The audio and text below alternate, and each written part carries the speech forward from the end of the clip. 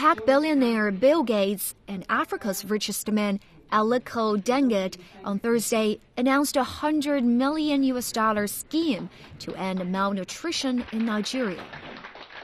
One of the biggest challenges confronting us as we work at reducing childhood death is to work on solving problem of malnutrition in Nigeria.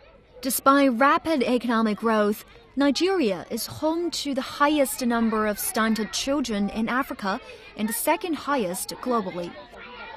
For every child who dies, there are four or five children who survive, and yet, uh, because of malnutrition, they never develop physically and mentally.